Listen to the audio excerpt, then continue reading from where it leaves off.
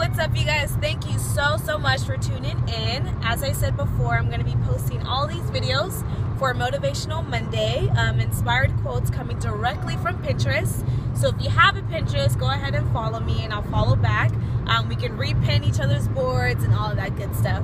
Um, so I'm actually on my way back from San Diego. I have work at 2, um, and Darian's going to make sure that he gets me there on time. So I'm not late because I definitely don't want to hear my boss's mouth. But other than that, the quote that I chose today, um, it was kind of hard because I was conflicted between a few. But today's quote is If we wait until we're ready, we'll be waiting for the rest of our lives.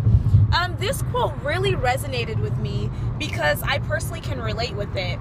Um, it took me months and months and months and months to post these videos because I was so nervous. Um, I lacked confidence because I was just worried about what other people were going to think, if you guys were going to like it, and all of that good stuff. And I kept telling myself that I wasn't ready when all actuality I was just kind of, you know, insecure about what everyone was going to think.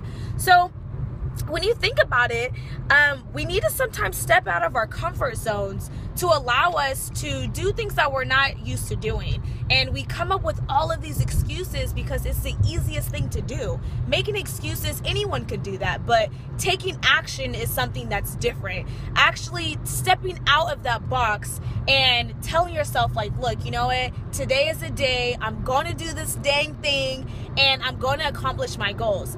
That is what's hard but recovering from that and finishing it and accomplishing it is the best feeling ever. Being able to say, I did it, and being able to, you know, share with your peers and letting them know that, look, I wasn't afraid to take this chance, and I wasn't afraid of, you know, feeling a certain way because I was afraid of what everyone else is doing is a feeling that you can't regret.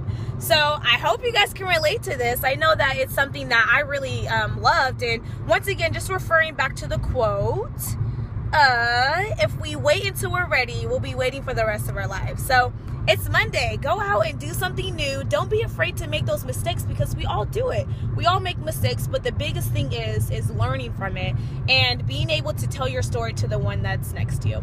So all these videos are going to be on mariahdarsha.com. If you guys missed last week's episode, just go ahead, go back on there, and you guys can check it out.